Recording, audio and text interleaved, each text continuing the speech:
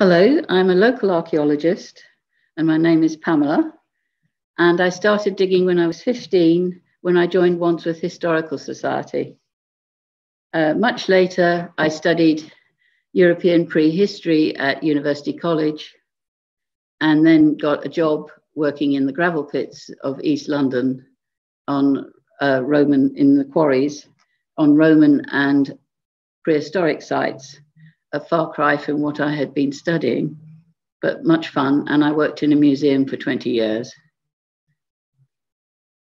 When I was 16, Wandsworth Historical Society were digging in Putney, and I was there. And while I was trowelling away quietly, I came across a circle in the ground. And it turned out to be this pot. And this is the first complete pot that I ever dug up in my digging career. And so it has a special place in my heart.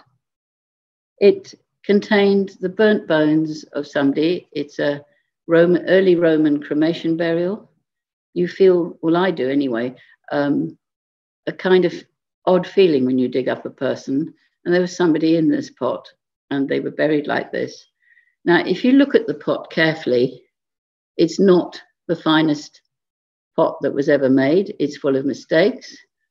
And you can see the potter putting on the white slip um, managed to let it dribble. The, later on, we found other pots in the group and they had holes in them and all sorts of things. These are not good for cooking, which is what this is, or for holding anything.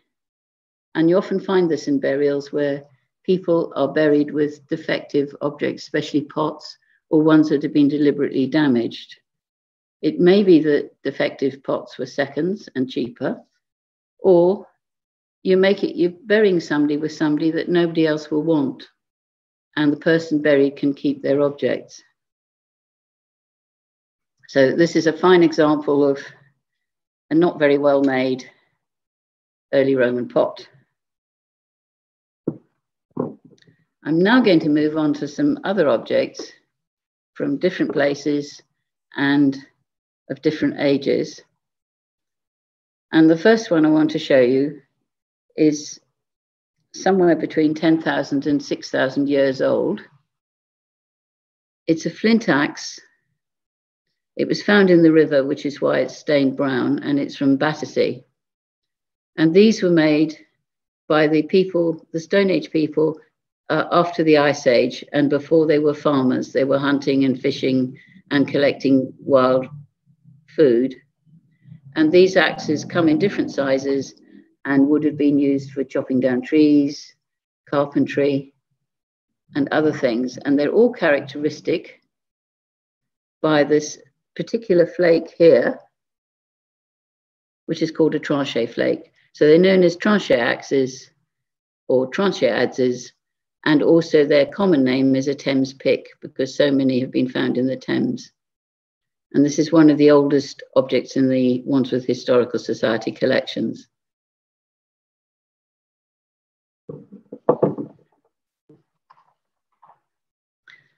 And next is much later, it's about two, 2,800 years old. That's 28 centuries ago. And it is dated to the early Iron Age, the very earliest part, when decorating pots was the fashion. It's handmade, and if you look very carefully, you'll see lumps in it, whitish lumps. These are pieces of burnt flint that are added to the clay to make the pot stronger when it was fired, rather like putting stones in cement to make concrete. The interesting thing is, it's the decoration. It's done with the fingernail, and especially here. And these marks about the size of my fingers, but some pots have much smaller ones. And we think that perhaps children were being used to decorate pots. Probably fun help, helping the family. You also get scored lines and other things, but the fingernails and the finger impressions are the most common. And it's a large jar perhaps about the size. And it came, it came from Putney. This is also from Putney, and I need to put gloves, put my gloves on properly. It's also Iron Age and something quite rare and quite nice to have found such a good one. And I found that myself. Um, it's a it's a bone point of some kind. It's made from a sheep or goat leg bone, and it's been polished, and then it has a scoop-like end. We don't know what they were for. Some people think they were for scooping out something when eating, um, such as bone marrow out of a bone, or some have suggested that some of them are used as substitute spears for when they made offerings in rivers and lakes. But this is an extremely nice one, and it has a lovely hole for putting a cord on it. So maybe somebody, you know, is a tool for making something or eating, and you could hang it around your neck. Try and show it a bit more closely. It is really, really lovely and lovely to handle. So we don't have a precise date for it, but it'd be well over 2,000 years old. I'm going to move to the Roman period. And this is what we call colloquially Samian pottery. It is red glossy pottery and its technical name is terra sigillata because it's often got stamps on it, either the potter's name or decoration. Its glossy surface is not a slip. It's not quite showing so well here, but it's shiny and smooth and some are really, really shiny. This particular piece um, was made in the south of France, but it was also made in the area that's between France and Germany. And in the Roman period, that was called Gaul. It's not a glaze, it's, it, you need special, you need very special um, clay with minerals in it that produces this shine.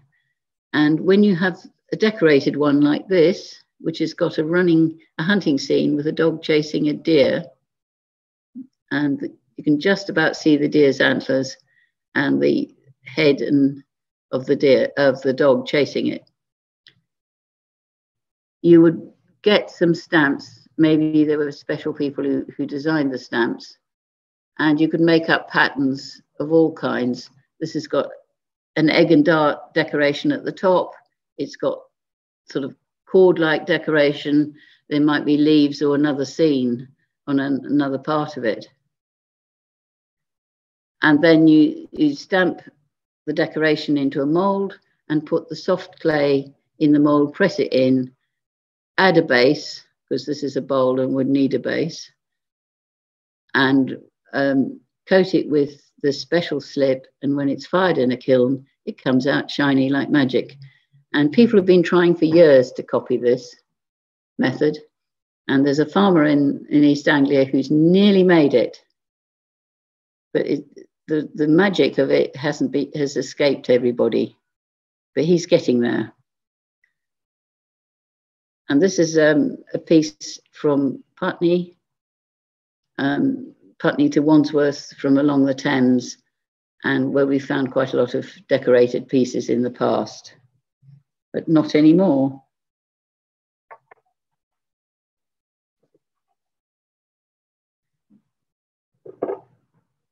Now I'm going to move on to something much more recent. That piece of pot dates to perhaps 1800 years ago the early Roman period, first to second century. This belongs to the end of the 17th and 18th centuries in Britain. And it's called Staffordshire combware. Um, it's sometimes called by archaeologists as a nickname Bakewell tartware because of the decoration.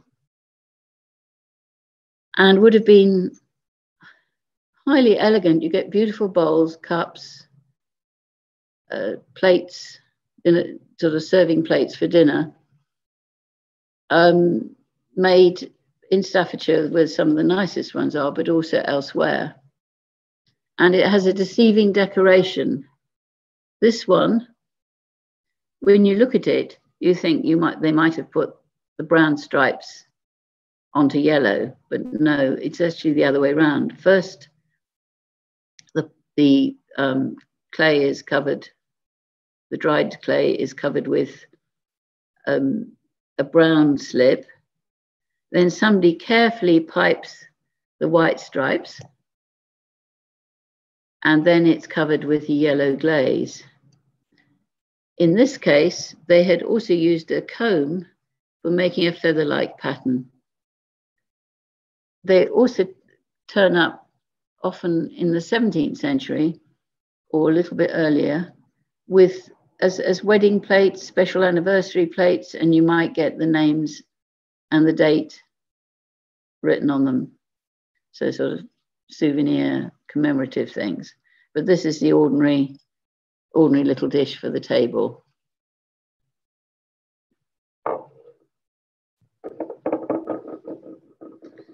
And a little bit earlier, we have this collection of objects from Battersea, from a house that was excavated in Battersea. We didn't get the whole pot because it was a building site, but it is obviously broken up in the same place. It's conveniently dated with a, a little date stamp on here. Um, and I'll try and show it to you. This is called, this is a stoneware bottle, so it's fired very hard and the pieces can be quite sharp. And then you put, during firing, they'd shovel salt onto it.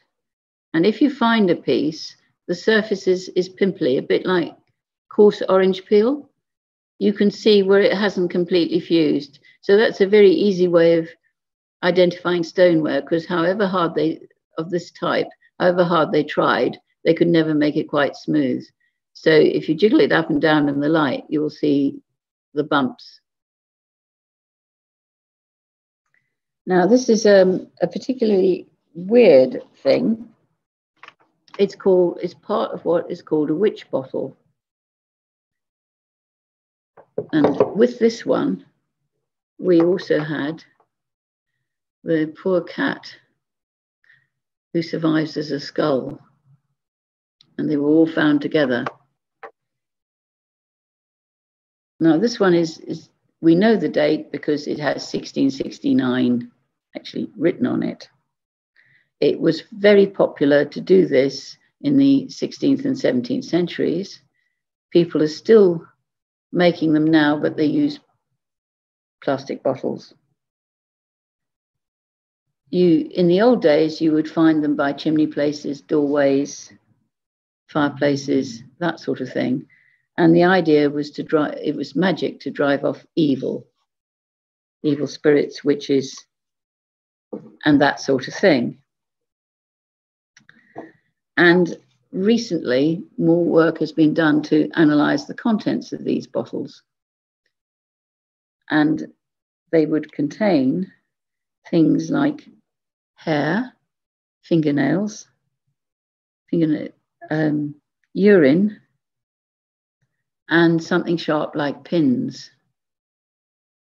And one of the thoughts, one of the things to do was to put all this in the bottle, put it by the fireplace, and while it gently warmed, it would harm the witch that was trying to get you. And by warming it slowly, you increase, you kept the pain going for the poor old witch. And then when it exploded, it killed the witch. There are variations on this theme, but that is basically the idea is to protect you from being harmed by some evil person a witch. So they do turn up quite often. Several hundred have been found. They're found in America, Canada as well, and it's it's it's the fashion of the time.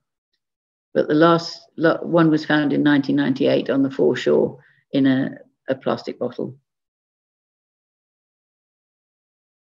Now I'm going to produce something that you can do. You might find that pottery in the park in your garden, somewhere like that, is another thing that you find quite commonly in open spaces is this piece of rubbish from the past, which is a clay pipe for smoking tobacco. And you find those everywhere because they're the cigarette ends, the sweet wrappers of the past. And because they change shape over time, starting small, because tobacco, when it first came in the 1680s, was very expensive, they're very good for archaeologists. Fashions change, some of them have names, some of them even have the initials of the people who made them. So they're extremely useful for, for dating, and you, sometimes they can give you a date within 20 years. And because they break, and because people had a, a smoke and then threw them away, you they don't they, they're very tight for dating. They're not something like a coin that people might keep for tens of years, even longer. And if you do find one and do wash it, please don't put it in your mouth because this clay, until it's been tempered with things like milk or whatever they did in the past, actually sticks to your skin. It sucks the moisture out of your skin, rather like if you put your hand in a freezer and it's not very nice. So avoid that, and it might be dirty anyway. But if you find one, you can download from the Society of Clay Pipe Research one of these charts. And all you have to do, it prints out at the same size as the pipe, is match yours as near as possible to one of the ones on this chart. And then you get the date. It won't be exact because they're handmade, but as close as possible, and you'll get a date range for your pipe. And this one, just going to do it, very neatly fits 1700 to 1770. And if it's got the maker's initials on it, they they had licenses if they were honest, and you can get the dates that they were making the pipes. It's an easy thing to do, and if you have one of these charts, it's just what any archaeologist would do. We don't use anything more special. And the last thing I'm going to produce is something I'm working on at the moment just to remind you that it's not always the attractive looking things that can have a fantastic story. This is a piece of a hand millstone called a quern. And otherwise, it just looks like a boring piece of stone. But there are lots of things that are wrong with it. It's not its original color because it's been burnt. Um, from the other pieces that I have, I can see that it's been broken up. Somebody has sliced part of it off, and one of the others found with it has been cut very carefully and very precisely in half. And all the other two that we managed to rescue from this trench were also burnt. I managed to identify the rock from one of them and then got stuck on the other two. And at the time, my son was studying geology at the University of Leicester. And I gave it to him and said, you know, can any of your mates work out what this is? And the answer came back the whole flat didn't know what it was. So they took it to a lecturer. And she had a thin slice cut from one of the pieces to make something like a microscope slide which is this. I'll try and get it the right way up. I'm upside down. And that's what it looks like when the, the photograph of the image on the slide. And it shows all the different minerals inside this. And they're very characteristic. The green ones are glauconite, for example. And the other one, which was burnt to a dark brown color, also gave an analysis that was allowed it to be identified. This one was a puzzle for a while, and then they checked the university collections and found a piece of rock that was almost identical. So we know that this quiet piece of stone, which would have been a very heavy object about this size originally, in two pieces, two circles, to make a, a quern to grind flour or metal ore or anything else you needed to grind. This was originally quarried in Lincolnshire and it's come all the way to London, probably by sea and river because these are very heavy, more than 2,000 years ago. And if you think about it, if something's traveled that far, and these are quite rare, and this is a long way for one of these to have come, they're generally not found in this area. They're more of a Midlands find. They must have cost a lot of money effectively at that time and been very precious. But it ends up being chopped up and thrown away. And this is what I'm working on at the moment, so I haven't come to the end of the story. Now, if you would are interested in doing anything like archaeology, there are things that you can do, um, and there are things on the summer that you might like to take part in. If you go go to the Fulham Palace website, you will see some local things for families and people of all ages. They've got a, a, an event coming up in June that you can go along and, and, and do some handling of objects and things, I suspect. Uh, but it will be about flint implements, I think. But other things happen all the time there. You just need to go to the website and see what's on next. There is a young archaeologist club based there, but it's booked up for this term. So if you that if you want to join in on that, you need to keep you posted on looking for when the next year's bookings come up. In the summer, between the 17th of July and the 1st of August, there is the Festival of British Archaeology, which you can also search, and we'll add the contact details um, to this. And there are events of all kinds from talks, open days, practical archaeology, everything held all over the country. So all you have to do is search on the festival um, website, put in the area where you are, and it will tell you where the nearest things you can do are happening. And that happens every year for the last week of term normally and the first week of the school holidays. So there you can join in and go and see things and perhaps get hooked like me.